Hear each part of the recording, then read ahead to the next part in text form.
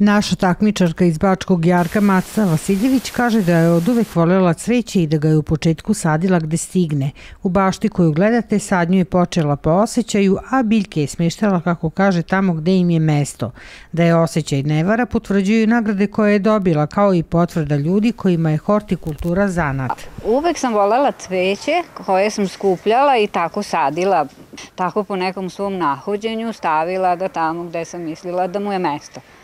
A kamenje sam donosila sa Peruca, sa Tare, imam sa Meteora, jedan kamen sad trenutno ne mogu da se setim gde je, imam sa kamenje, to sve od negde doneseno, ovaj, čak imam sa Dervente reke i ovaj, ja to tako volim, skupljam cveće, volim da dam, volim da dobijem, ako mogu negde da otkinem pelcer da niko ne vidi i to se desi i tako.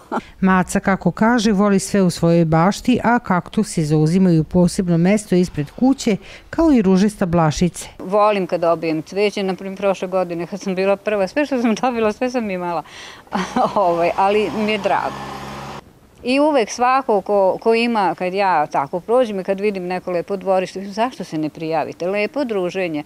Pa neko ne može da kupi cveće, pa dobije. Sponzora ima puno u Temerinu tih uh, plastenika i šta svi donesu ovaj, da da poklone i onda dobije se tu cveće i malo se družimo, bude tamo neka zakuska u opštini Temerin i razmenu se iskustva, pričamo, poznajemo se već.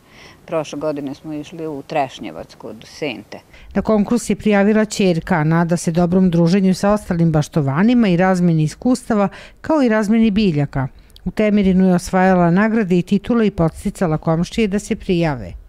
Za ovu lepotu Maca kaže da svi članovi porodice vole baštu, ali ona ipak najviše.